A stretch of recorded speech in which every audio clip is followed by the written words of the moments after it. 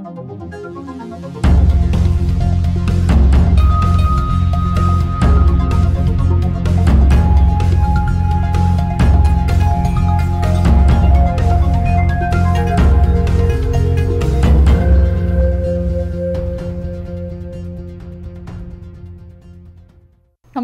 यो news twenty four television prime time न्युजका हेडलाइन्समा स्वागत छ। एमाले भित्रको विवाद समाधान उन्मुख हुँदै जाँदा माओवादी केन्द्रमा भने सङ्कट गहिरिने देखिएको छ। एमाले एकता कायम राख्न र विवाद समाधानका लागि बनेको कार्यदल आज थप सक्रिय बनेको छ तर दुई शीर्ष नेता अध्यक्ष केपी शर्मा ओली र वरिष्ठ नेता माधव कुमार नेपाल बीचको इगो साम्य गर्न भने कार्यदललाई सकस परिरहेको छ।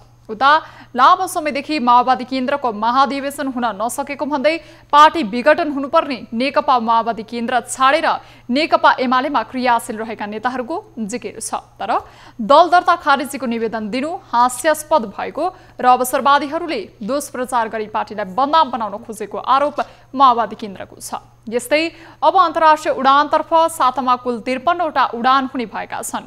कोरोना भाइरसको महामारीको अवस्था हेरी तोकिएको तालिकामा समेत थपघट भने हुन सक्ने सरकारले जनाएको छ। यसैबीच नेपालले चीनसँग खरिद गरेको कोरोना भाइरस विरुद्धको आठ लाख डोज खोप नेपाल ल्याइएको छ। यो सँगै स्पोर्ट्स तथा इन्टरनेसनल न्युज पनि प्राइम टाइम बुलेटिनको हेडलाइन्समा महत्त्वका साथ समेटेका छौँ। अब प्राइम टाइम न्युजका हेडलाइन्स। दल दर्ता खारेजीको निवेदन दिनु हास्यास्पद भएको माओवादी केन्द्रको टिप्पणी। अवसरवादीहरूले दुष्प्रचार गरी पार्टीलाई बदनाम बनाउन खोजेको आरोप। एमालेको विवाद समाधान गर्न बनेको कार्यदलको बैठक आज पनि विवादित विषयमा अन्तिम टुङ्गो लगाउने तयारी कार्यदल थप सक्रिय। सरकारले अन्तर्राष्ट्रिय हवाई उडानतर्फ सङ्ख्या थप्यो। आइतबारदेखि अन्तर्राष्ट्रिय गन्तव्यमा हप्तामा त्रिपन्न हवाई उडान हुने। पछिल्लो चौबिस घण्टामा एक हजार तिन सय सोह्रजना सङ्क्रमण मुक्त थप दुई हजार दुई सय उन्चालिसजनामा कोरोना सङ्क्रमण पुष्टि बिस सयजना सङ्क्रमितको मृत्यु। चीनबाट खरिद गरेको आठ लाख डोज खोप नेपाल ल्याइयो। साठी वर्ष मुनि उमेर समूहकालाई प्राथमिकताका आधारमा खोप लगाउने तयारी।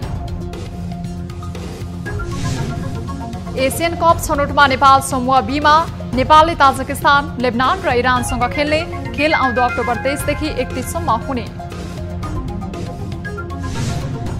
र बङ्गलादेशको खाद्यान्न कारखानामा आग लागि हुँदा बाहन्न जनाको मृत्यु तेइसो जना घाइते आगो अझै नियन्त्रणमा आएन।